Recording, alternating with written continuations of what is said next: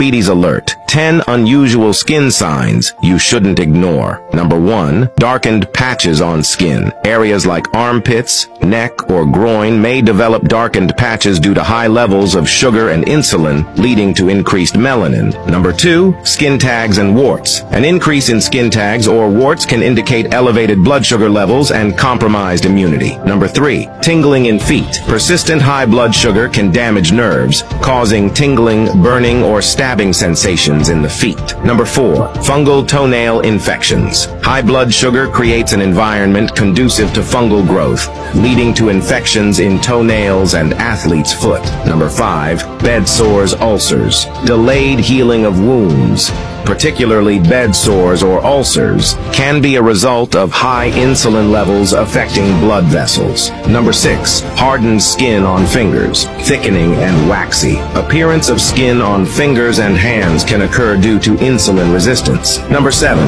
Stiffening of fingers. Diabetes can cause fingers to stiffen and develop small lumps or nodules. Number 8. Shin spots. High blood sugar levels can cause leakage of blood byproducts into the skin, leading to dark spots on the lower legs. Number 9. Skin bumps. Lipid deposits. Elevated cholesterol levels in diabetics can lead to small, hard-raised spots under the skin. Number 10. Puffy eyelids. High blood glucose can cause water retention, leading to puffiness under the eyes.